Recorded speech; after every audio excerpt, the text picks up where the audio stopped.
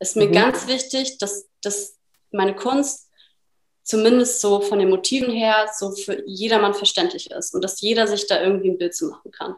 So. Das hat vielleicht auch was mit meinem Filipino-Sein irgendwie zu tun, dass ich mir halt denke, ich möchte aber nicht, dass meine Kunst so super elitär und super teuer irgendwie ist und keiner mhm. kann das irgendwie bei sich irgendwie reinstellen, sondern es ist mir halt voll wichtig, dass ich in Zukunft vielleicht sowas wie Edition habe oder so, dass jeder sich das halt leisten kann. So. Mhm. Da gibt es verschiedene Meinungen in der Kunstwelt, ob man sowas halt machen soll oder nicht. Aber ich denke mir so, ich will auch, dass irgendeine Tita, die irgendwie da Bock drauf hat, mich auch zu supporten oder das halt einfach toll finde, was ich mache, dass, die, dass es auch okay ist für, für die, sich halt irgendwie was zu kaufen. Ja, hallo, ihr Lieben zu Generation 2.0, dem Deutsch-Pinol-Podcast. Heute ist Silke Lapina unser Gast. Sie wohnt in Berlin und ist Künstlerin. Und jetzt kommt das Spannende. Silke hat ihren Master über Spiritualität in der zeitgenössischen Kunst geschrieben. Mhm. Denn sie interessiert sich für die christliche Mystik. Wir sprechen über ihre Reisen, Wurzeln, Religion und über existenzielle Fragen in ihrem Leben. Also viel Spaß beim Zuhören.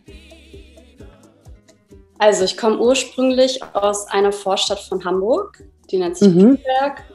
Und ähm, genau, meine Mama kommt ursprünglich aus Quezon City.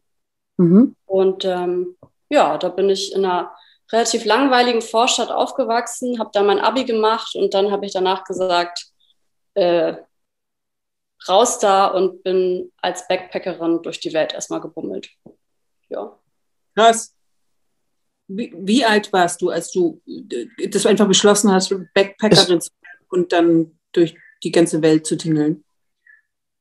Ähm, das war so während der Abi-Zeit, wo ich halt irgendwie gemerkt habe, ich habe einfach voll Bock, irgendwie was von der Welt zu sehen. Und durch meine philippinischen Wurzeln war mir das eh schon irgendwie klar, dass ich auf jeden Fall auch dann auf die Philippinen irgendwie möchte für eine Zeit lang. Und ja, wenn man also das nicht zu dem Zeitpunkt macht, wann denn halt dann? So, weil dann steckt man vielleicht mhm. im Beruf oder halt im Studium oder vielleicht hat man dann auch schon eine Familie. Und da war für mich halt irgendwie klar, boah, ey, ich muss es, wenn, dann muss ich das jetzt nach einem Abi machen. So. Und sag mal, warst du, wie lange warst du dann auf den Philippinen? Also ich war erstmal äh, an verschiedenen Orten, also Istanbul, Dubai und Bali und dann Australien und da habe ich dann ein Jahr lang gelebt und dann bin ich nach Thailand und dann auf die Philippinen. Genau. Und dann wieder zurück nach Deutschland und äh, bin dann danach noch ganz viel verreist auf der Welt. Aber ähm, als ich auf den Philippinen war, das war 2013, ist auch das letzte Mal, dass ich auf den Philippinen war. Also oh, das ist ja, auch eine Weile. lange her. Also es ist jetzt neun Jahre her. Neun Jahre. Ja, also ja, ich müsste mal wieder auf die Philippinen auf jeden Fall. Ja.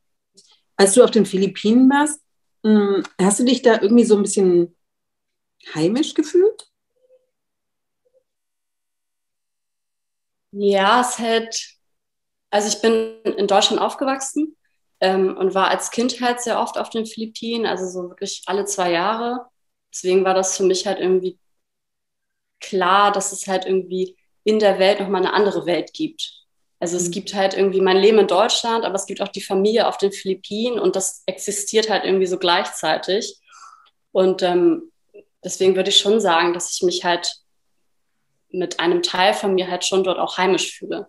So mhm. und dieses, äh, dieser Humor, den ich halt kenne von, keine Ahnung, in der philippinischen Gemeinde oder so, oder wenn die Titas irgendwie miteinander sprechen, das wird da halt so richtig, also da siehst du dann, woher das halt irgendwie kommt und so, die ganze große Familie, so das, ja, ich würde schon sagen, dass ich mich da auch irgendwie heimisch fühle.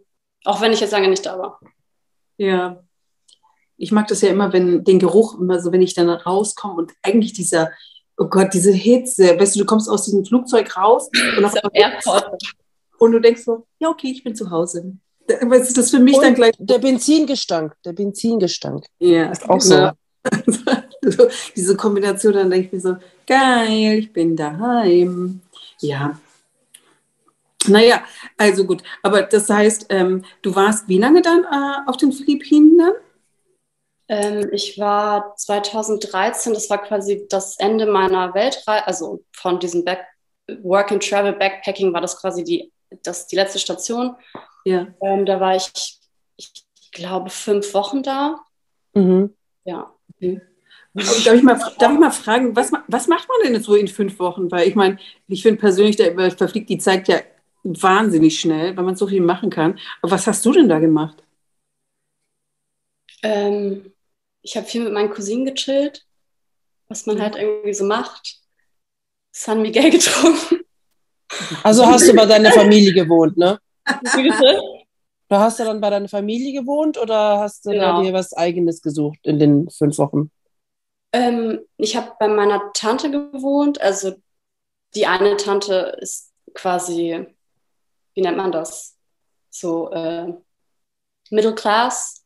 So. Mhm. Und der Rest lebt halt, ich würde es tatsächlich schon so als Slums bezeichnen. Es kommt einem halt nicht so vor, weil das, was man quasi im Fernsehen sieht, was so als die Slums betitelt wird, wenn du da bei der Familie bist, halt in so ärmeren Wohnungen, dann fühlt sich das jetzt nicht irgendwie an, als wärst du da irgendwie in so einem krassen Armviertel, sondern die Leute sind super großzügig und keine Ahnung, so. Ja. ja.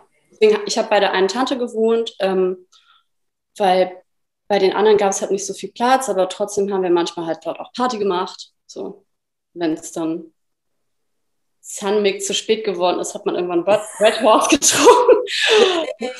ah. genau, also ich habe halt viel mit meinen Cousinen irgendwie Party gemacht. ähm, ja, bin da so rumgetingelt und.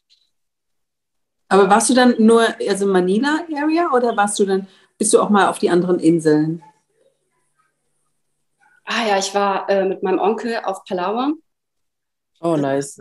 Richtig krass, weil ich halt über diese Erfahrung in Australien und so dachte, boah, das ist so eine krasse Natur, äh, Erfahrung, die ich da gemacht habe. Und dann komme ich auf die Philippinen und bin auf Palawan und denke mir so, genau, ich war auch auf Fiji. So, also ich habe halt echt so richtig krasse Sachen irgendwie erlebt. Und dann komme ich auf die Philippinen und denke so, krass, nicht nur, weil ich irgendwie zu einem Teil auch von den Philippinen komme, es ist wirklich einfach eine richtig krasse Natur dort. So, und das, das kann man sich nicht also vorstellen. Es ist so, man denkt so krass, Jurassic Park ist halt echt, das gibt es halt auch schon Philippinen. So, ja, das, was man irgendwie nur aus dem Fernsehen kennt, irgendwie was so aussieht wie Fantasy, das gibt es halt wirklich. So. Ja, das, das hat mich schon echt krass beeindruckt ich wollte damals halt unbedingt diese Experience haben und nicht irgendwie im Hotel schlafen, sondern wirklich bei so einer, bei so Locals. Mhm. Und da habe ich halt bei dieser Fischerfamilie mit so fünf Kindern und einem Hund irgendwie so auf so Bettlaken nur auf dem Boden geschlafen. Das war voll cool. Ja, das ist schon echt eine tolle Erfahrung. Als ich zum ersten Mal deine Bilder gesehen habe, habe ich gedacht, wow, ist die so, ist die religiös? Ist die, ist die sehr katholisch erzogen worden? Wie, wie ist deine Antwort dazu? Also ich habe Religion und Kultur studiert, deswegen habe ich da vielleicht nochmal so eine andere Definitionshaltung. Ähm, da würde man jetzt erstmal sagen müssen, okay, was ist denn, was bedeutet denn für euch, religiös zu sein? So. Bedeutet das, dass man dann halt in einer Gemeinde irgendwie sein muss?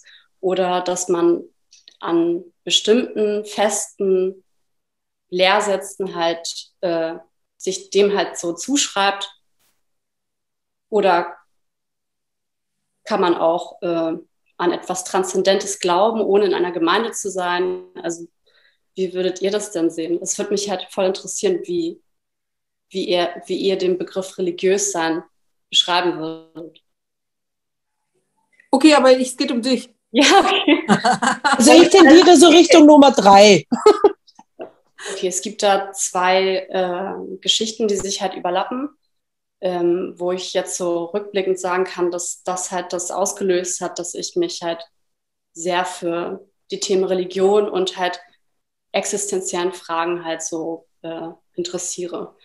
Mhm. Und, äh, das erste ist, dass ich mit 14, ähm, ja, ist mein Vater gestorben. So, und das hat mir halt echt so krass den Boden unter den Füßen weggerissen. Und wenn man halt so eine Erfahrung gemacht hat, dann äh, macht man sich halt sehr früh halt schon ähm, Gedanken zu solchen Fragen. So. Und oh. ähm, ja. Hm. Und das Zweite ist aber, dass ähm, bei uns zu Hause halt das Thema Religion halt schon immer Thema war, mhm. aber ähm, nicht im Sinne von, dass ich jetzt religiös aufgewachsen bin. So meine Mutter ist katholisch, so ich kenne diesen, die äh, ganz normalen Rituale, überall so ein bisschen mal so ein Rosen, so ein Rosenkranz hängt irgendwo und so. Das, damit bin ich halt aufgewachsen. So. Und ähm, dadurch, dass bei uns zu Hause halt immer sehr viele Bücher standen zum Thema Weltreligion, verschiedene Kulturen, hat mich das irgendwie wahrscheinlich so unterbewusst auch beeinflusst. Mhm. Ja. Und, genau, und das führte dann dazu, dass ich halt nach meinen Reisen ähm, Anthropologie angefangen habe zu studieren in Wien. Und da habe ich dann innerhalb des Studiums halt gemerkt, dass ähm, die Gesellschaft oder die Kultur halt grundlegend beeinflusst wird vom Wertesystem. So, und das ist immer irgendwie in Verbindung mit dem Weltbild oder der Religion dieser Kultur. Mhm. Das mhm. liegt so ganz tief unter der Kultur. Und das hat mich halt so sehr interessiert, dass ich dann halt gedacht habe, boah, ich würde da gerne irgendwie noch ein bisschen tiefer reingehen. Und dann habe ich äh, beschlossen, wieder nach Deutschland zu ziehen. Und in Berlin gab es halt den Studiengang Religion und Kultur. Wenn man sich entscheidet, sowas zu, zu studieren und aber auch eine Weltreise gemacht hat, ich glaube, da geht man doch auch schon mit sehr viel Fragen in die Reise und in dieses Studium rein, oder? Ähm, ja, es ist ja, also das ist ja wie bei so Leuten, die äh, Psychologie studieren oder so, ne? Die haben immer ein Interesse, so sich selbst auch dann so ein bisschen zu therapieren und so. Und äh, ja, ich würde sagen, dass wegen Geschichte 1 halt äh, meine Familiengeschichte, dass mich das halt so krass irgendwie geprägt hat, dass diese Fragen mich einfach verfolgt haben. So, was, ähm, was bedeutet denn Sinn des Lebens? Was passiert nach dem Tod? Ähm, mhm. Woran glaube ich? Ähm, gibt es etwas Größeres? So. Und ähm, ja. Und mit den Fragen bin ich quasi halt auch in mein Studien, Studien, äh, Studium gegangen. Ja. Ich finde es super interessant, was du studierst, muss ich ganz ehrlich sagen. Weil ehrlich gesagt, ich kenne keinen außer dir.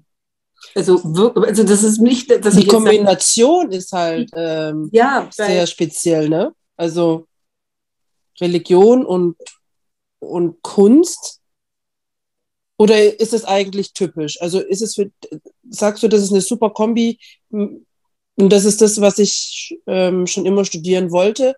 Oder wolltest du das erstmal ausprobieren, um zu gucken, liegt mir das?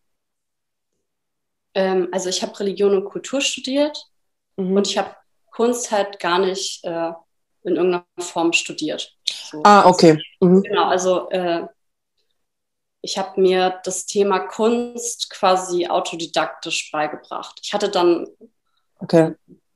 während meines Lebenslaufes halt verschiedene Mentoren zu, den, zu der Kunst, ähm, aber ja, ich wurde halt nie von der Kunstuni angenommen. Und äh, das war dann aber halt auch okay, weil ich halt dachte, okay, ich kann mir alle diese eher technischen Sachen ja sowieso beibringen. Ähm, also Ne, es gibt ja YouTube so, oder oh, ja, das stimmt.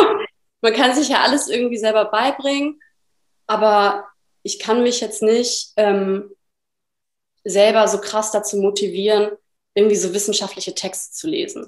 So. Aber Kunst ist ja immer beeinflusst von einem bestimmten Inhalt. Und deswegen, vielleicht rede ich es mir auch nur schön, weil ich nicht angenommen wurde von der Kunstuni, aber ähm, im Endeffekt war es das ganz gut, weil ich halt inhaltlich ähm, ja viel fundierter bin. So. Ja. Und darf ich dich jetzt mal ganz kurz fragen, so hast du dann paar Fragen, mit denen du in das Studium reingegangen bist, für dich auch manchmal, also ich glaube nicht beantworten können, aber vielleicht irgendwie so eine Art Frieden machen können? Ja, also ich, es hat sich tatsächlich ähm, irgendwie jetzt gerade in dem Masterstudiengang hat sich irgendwas, irgendwas quasi gelöst. So.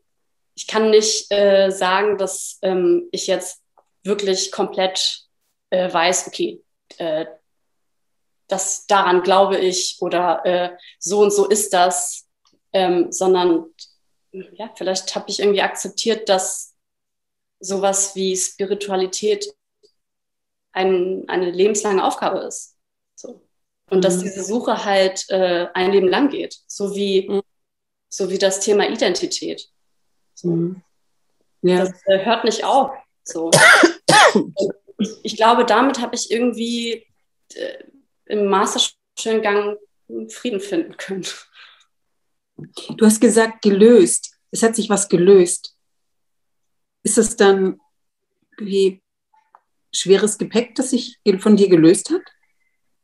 Ich weiß, das wird jetzt sehr psychologisch, ich wollte gar nicht in die Richtung, ähm, aber du musst es auch nicht beantworten. Wenn du sagst, hey, das geht mir zu deep, dann ist es auch nicht so schlimm. Aber weißt du, Religion, Selbstfindung, Identität, das ist alles irgendwo, für mich irgendwie geht es immer so in die gleiche Richtung. Also sowas, du, du tauchst automatisch tiefer ein, finde ich.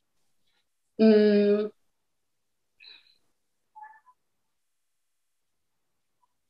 Ja, ich. Okay, also, das ist. Das halt so, nein, wir können es aber auch doch schieben. Ich würde sagen, ich würde sagen dass ich, ähm, dass ich halt in meiner Kunst halt diese grundlegenden Fragen mit erforsche. Also ich habe keine, keine äh, letztendlich geltende Meinung zu all diesen Themen. Ähm, aber in meiner Kunst kann ich mich halt nochmal auf eine andere Art und Weise damit auseinandersetzen und, ähm, mhm. und äh, Sachen, die man vielleicht auch nicht versprachlichen kann.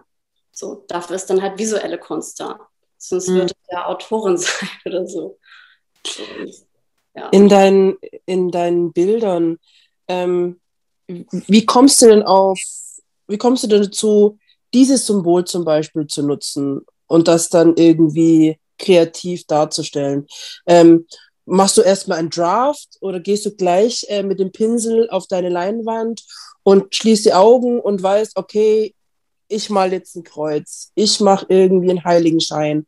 Oder guckst du dir einfach, suchst, äh, guck, gehst du mit einer Bibel, schaust dir da irgendwer Verse oder äh, äh, einen Artikel oder irgendwie, wo ziehst du dir deine, deine Energie und deine De Ideen? Und das, wie, wie machst du das eigentlich? Also ich habe mir ganz oft schon diese Frage gestellt, wo die Ideen herkommen und ich kann sie nicht wirklich beantworten. Also ich, ich mhm. vermute einfach mal, dass ich ähm, das über die Beschäftigung mit manchen Schriften, also ich interessiere mich sehr für die christliche Mystik mhm. und ähm, ich hatte auch ein Seminar zu Meister Eckhart, das ist so ein Mystiker aus dem Mittelalter gewesen.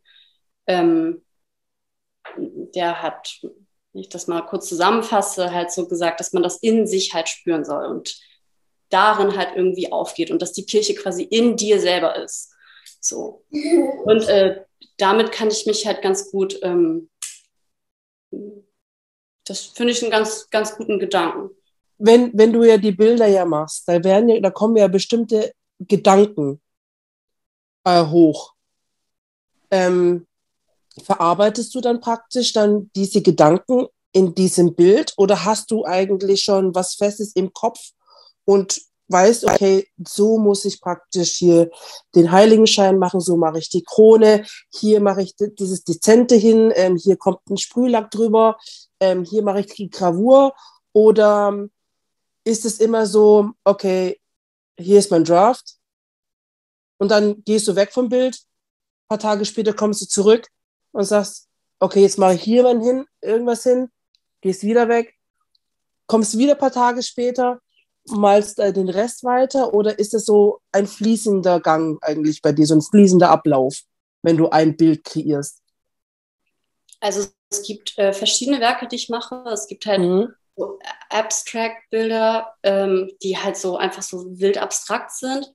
Mhm. Das eher wie so ein Stream of Consciousness. Also da, da denke ich irgendwie überhaupt nicht drüber nach, sondern greife halt einfach zu Farben, die ich halt irgendwie gut finde und dann klatsche ich halt einfach alles auf die äh, Leinwand und dann so hat sich quasi diese Energie einfach so entladen.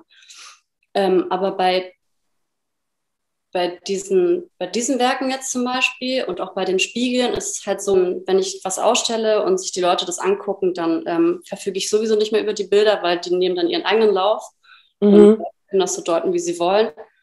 Aber ich beabsichtige bei diesen beiden Werkserien schon, dass es mit dem Betrachter was macht. Mhm. Also, dass ich halt mit einer Symbolik spiele, wo ich halt weiß, ähm, auch wenn sehr, sehr viele Menschen halt in Deutschland sich als Atheisten beschreiben würden, dass, äh, dass diese christliche Symbolik kennt einfach jeder. Und Richtig, jeder, ja. jeder kann sich halt dazu Gedanken machen. Und was, was bedeutet für eine Passion?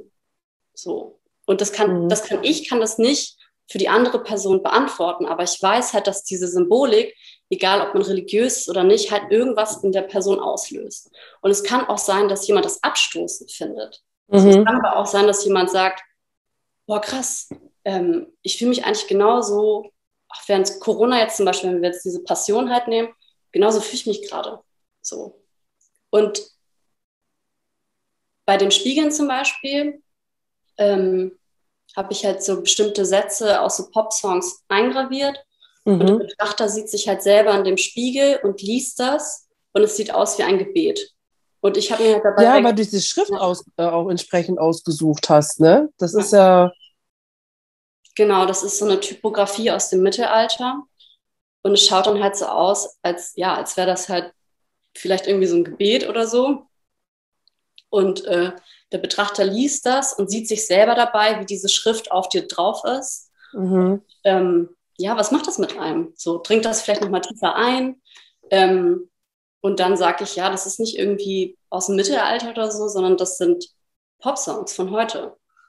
Vielleicht ist es ja auch möglich, so ein Gebet zu sprechen, indem man mhm. Popsongs anhört. Vielleicht ähm, ist es halt, das im Alltag zu finden. So. Ja. ja, das siehst du ja auch ähm, bei diesen Worship-Songs. Ja. Hast du, das ist auch so ein, so ein schönes Beispiel bei den Worship-Songs, ähm, weil ich, also ich höre das sehr gerne. Ähm, es, es, es, ähm, es, es, es muss nicht unbedingt, ähm, wie, wie sagt man das? Es, es, es, es gibt ein, ein gewisses Gefühl wenn ich das höre. Es, ähm, manchmal gibt es so Songs, da schwebe ich. Warum auch immer. Dieses, dieses, das kann man auch nicht erklären. Das ist so typisch auch für den, für den Filipino. Wir sind halt so, wir sind emotionale Menschen. Und es gibt da so manche so Gefühle, die kann man halt nicht richtig erklären. Einen, der es nicht kennt. Ja. Und, äh, und das ist immer so schwierig.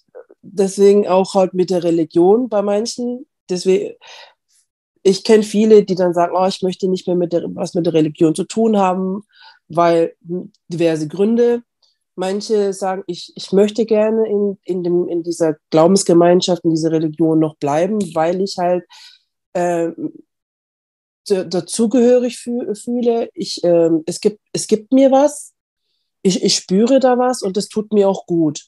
Und ich glaube, in, in deine Symbolik und deine Bilder, die ich da so, die ich jetzt gesehen habe, bis jetzt auf Instagram, ich glaube, bei vielen, denke ich mal, wird es was auslösen. Es, ich weiß nicht, ob du da schon Feedback bekommen hast, ähm, als, die, als die dann deine Ausstellung angeschaut haben und, und dann gesagt haben, irgendwas löst es in mir aus, irgendwie positive Vibes. Gab es das schon mal eigentlich, dass das einer mal direkt zu dir gesagt hat in der Ausstellung oder erst eher später? Ja, es sind so diverse interessante Sachen dann passiert. Also ich kann grundsätzlich beobachten, also Berlin ist jetzt nochmal noch mal so extrem, weil in Berlin sind, ich glaube, ich weiß nicht, ob die Statistik noch stimmt, aber so 70 Prozent der Leute Atheisten. Mhm. Kommt schon hin, ja. Gar nichts mit irgendwie sowas zu tun haben. Aber wenn du dann etwas weiter nachhakst und so fragst, ähm, glaubst du, es gibt dann irgendwie eine Seele oder irgendwie was, eine größere Energie oder so, dann sagen ganz viele Leute, ja, an sowas glaube ich schon. Und, aber dann bist du eigentlich ja gar kein Atheist. Also, und das finde ich irgendwie spannend, das so ein bisschen herauszufordern. Mhm. Oder nicht herauszufordern, sondern halt auch zu sagen, ey, vielleicht ähm, sind sich halt religiöse Leute und halt Atheisten gar nicht so unähnlich. Man muss es halt nur irgendwie mal aussprechen, an was man explizit dann ungefähr glaubt. Und vielleicht mhm. benutzt eine andere Gruppe halt eine andere Sprache dafür und lebt es halt anders. Aber es ist schon passiert, dass während ich eine Ausstellung hatte, da habe ich quasi während einer Ausstellung das so live vergoldet. So. Mhm. Über drei Tage lang habe ich daran gearbeitet und das war quasi dann ähm, wie so eine Performance, dass ich halt die Besucher konnten das halt sehen, während ich das so äh, bearbeitet habe. Und dann habe ich halt irgendwann Besucher dazu eingeladen, halt mit mir gemeinsam das Bild zu vergolden. Und äh, dann kamen auf einmal so komische Themen irgendwie hoch. Also, oder was ist nicht komische Themen, sondern auf einmal hat die Person angefangen, halt über Spiritualität zu sprechen und mhm. mir zu erzählen, dass, keine Ahnung, der irgendwie einen Ayahuasca-Trip mal gemacht hat und ähm, da irgendwie bei herausgekommen ist, dass es irgendwann mal in der Familiengeschichte wohl eine Vergewaltigung gab und der hat mir das okay. halt, hat mir das halt irgendwie so erzählt und ich war so ah, krass so. Die Leute denken, die Leute denken sehr, sehr viel über solche Sachen nach und glauben auch, also das ist jetzt so meine Erfahrung, die meisten Leute glauben auch irgendwie an vielleicht eine höhere Macht oder so. Mhm. Aber ähm, ja, mit der Kirche will man nichts zu tun haben. So. Und das, und ich finde, das hat irgendwie ein bisschen komischer Gap. So, weil, ja. Vielleicht wäre das auch die nächste Frage, ob die philippinische, deine philippinische Herkunft eigentlich auch eine große Rolle in deiner Kunst dann spielt.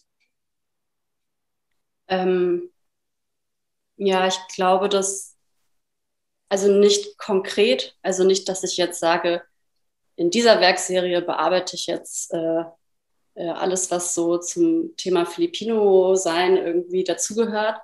Ich glaube eher, dass so, ich, ich kann das gar nicht vermeiden. Das ist ja meine Biografie und das ist so oder so in meinen Werken mit drin. So, und dass ich mich ähm, ja auch mit diesen religiösen oder spirituellen Themen irgendwie auseinandersetze, das ist natürlich irgendwie vor allem von meiner philippinischen Seite. So. Aber das hat dann sich dann so ein bisschen verselbstständigt und ist nochmal so andere Wege gegangen. Aber das ist so ähm, tief in mir drin. Und ich glaube, ja, jeder Künstler, jeder Künst, jede Künstlerin, ähm, ja, lässt es halt mit einfließen.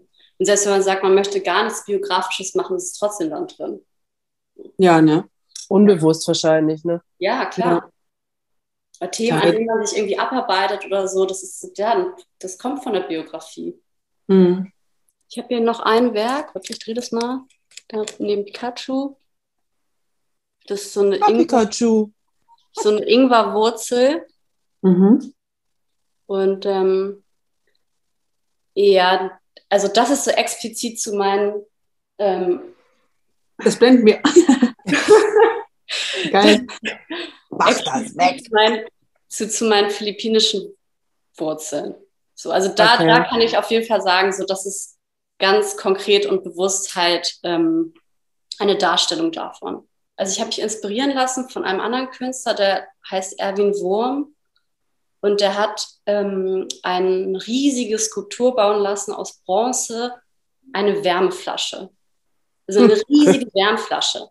So, und der Titel von dem Bild ist Mutter. Mhm. Und dann habe ich irgendwie so, keine Ahnung, irgendwie, ich habe dieses Werk gesehen, dachte so, boah, das ist voll lustig ähm, und so einfach irgendwie. Und dann habe ich irgendwie gedacht, was wäre denn das Symbol für meine Mutter? Ingwer.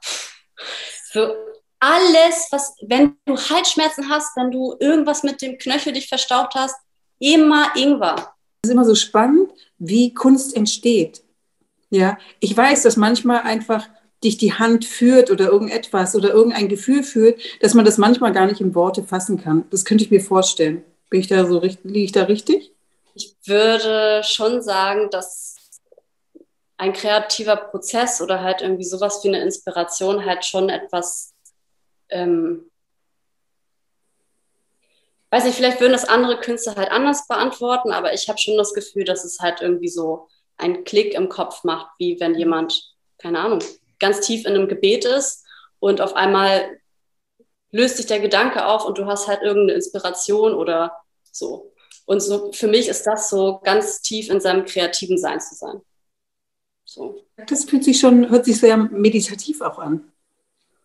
Ja, ich, also jetzt bei den Ikonen zum Beispiel habe ich halt irgendwann gemerkt, aber halt erst im Nachhinein. Also nicht, dass ich absichtlich so rangegangen bin, aber dass dieses Malen an den Ikonen, ich sitze da ja dann stundenlang dran.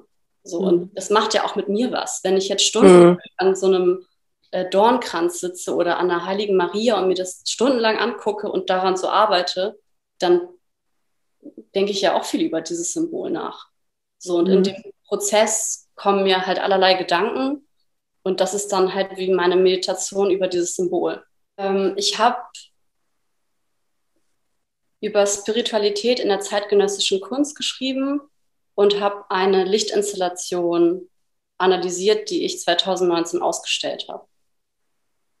Äh, ich hatte, als ich nach Berlin gezogen bin, das große Glück, direkt mit Adidas irgendwie einen Gig zu haben. Es war auch irgendwie so krass. Die haben mir irgendwie eine E-Mail geschickt und ich dachte, das ist Spam.